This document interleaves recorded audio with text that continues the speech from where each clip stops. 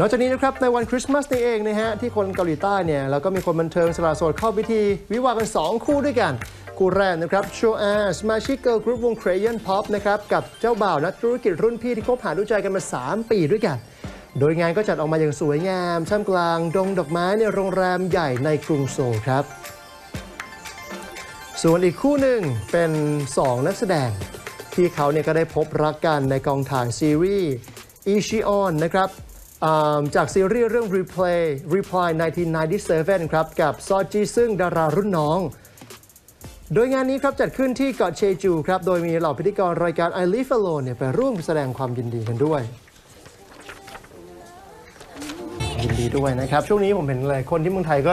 ก็จัดกันนะ ค่ะ เขาบอกว่าจัดตอนนี้ดี ประหยัด งานเล็ก ๆ พอ ยกน้องชายให้ให้ผู้ใหญ่มาก็พอ ใช่ เป็นแบบกระทัดรัดเอาเงินไปทำอย่างอื่นไงใช่เราก็จะคิดใช่แบบนี้นะ